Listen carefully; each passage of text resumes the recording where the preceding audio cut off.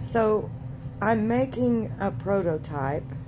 I call it the color block sweater. Um, and what it is, is it is going to be, I'm on the third panel now, but a four part panel sweater. And what you do, or what I've done, is I've started at the sleeve and do my ribbing, whatever kind of ribbing you want. And see, ribbing is identical on the front side and on the back side. And that was about 30 stitches.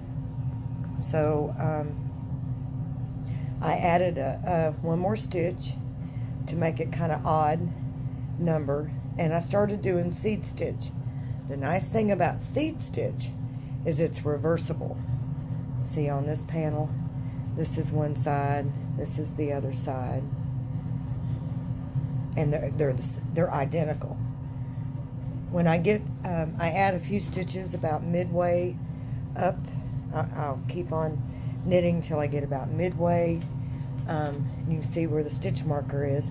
I added a few more stitches to make uh, the expansion underneath the arm. Then when I get here, I could probably show you with the gray one better because it's in progress right now. I finished the sleeve and then I've come up and I'm doing the long front panel which is connected to this to it. I uh, do a back loop thumb cast on when I get to uh, the end of the sleeve stitches. When I get to the end of the sleeve stitches, I did a back loop cast on for about 30 stitches and then um, I'll knit back and come back and then uh, I'll do well I did 50 to begin with and then 30 at the end to get the length that I want. All the way to the end. Then you're just knitting back and forth to create your front panel. Some of my knitting's loose and my yarn kind of, I had to tie on a new ball. Um, but it's reversible on either side, so it doesn't matter if you're making left front, right front, left back, right back, it doesn't matter. Um, when I finish this one, I have one more panel to go. Uh, it will be a dark purple. Then I will join all these together, um, either by mattress stitch, or I'm thinking about along uh, the edge here doing um, kind of like you would an I-cord except um, it would be one long maybe 10 inch uh, piece that will connect both sleeves together and uh, maybe do a cable or uh, I might do mattress stitch I don't know depends on how I like the look of it uh, these colors were just picked because they what I they're what I had left over. You can make this all one color. Uh, you make it several colors. You can change colors up and down through it and make long stripes. Um, I will show the joining process when I start it. But uh, this is just my little pattern.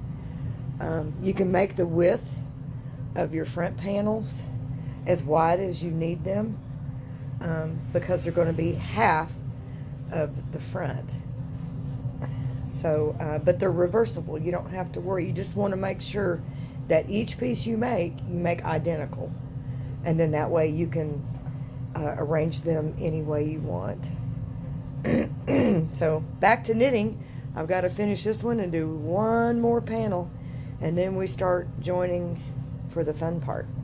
And one thing about this, this is um, a little, it's DK yarn, but it's thicker DK yarn. It's not, it's not fingering weight. And um, the seed stitch has a wonderful drape. And I'm using a, uh, I don't know what size that is. I think it's a uh, six millimeter. Uh, six millimeter. This is a rocket square knitting needles and I absolutely love them because when you use the thinner slicker yarns it uh, grasps the, the yarn much better I can't get that to come in focus. Okay. But um, gauge is not important. Measurements are is the secret to this. Uh, you want to measure from your neck to where you want the, just like with any cardigan, where you want it to fall. You want to measure your breast. Uh, remember, there is a difference between um, uh, your back and your front if you're female. so you want to make an allowance to where you have enough, uh, uh, what do they call that? Not expansion, but ease to where when you sew it all together that the front meets and the back uh, comes to your sides. But this is just an experiment. I wanted to just try uh, making the four pieces and making them uh, reversible. If I do probably the mattress stitch, this will be totally reversible. It won't matter if I wear it inside out or not until I put the pockets on it because I have to have pockets. So pockets will probably, what I'll do when I get it completely together sewn is in the front, um, I will do with kind of like a button band in another, maybe black or maybe another contrasting color uh, to go all the way up and around the neckline. Uh, you can continue it at the neckline and make a hood if you want a hood. You can uh, do a complete button band and do actual buttonholes. Um, I tend to hold my cardigans closed just with my pockets.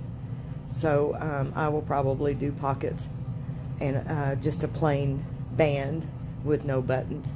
But with the uh, uh, with this stitch, with the um, seed stitch that I'm using, I could probably sneak and put little small buttons if I absolutely decide I want to have buttons. Um, but there we go. That's stage one of the color block sweater. Hope you like it. If you have any questions, just ask me. I will post my pattern in the, uh, under the video once I get the final video shot. Thanks. Have a good day. Bye.